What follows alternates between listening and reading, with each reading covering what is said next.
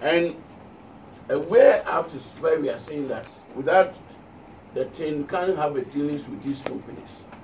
And you know our Ghanaian attitude to things. That, I mean, with the current regime, a lot of our attitudes have to change. So what we are doing is basically reinforcing the rules that the country has to operate with. And this is part of the game, trying to strengthen the rules.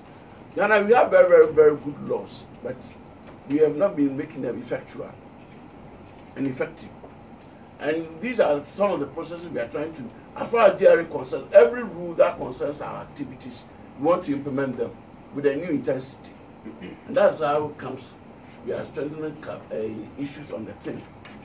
And if you recall, thing has not been as emphasized as in recent times.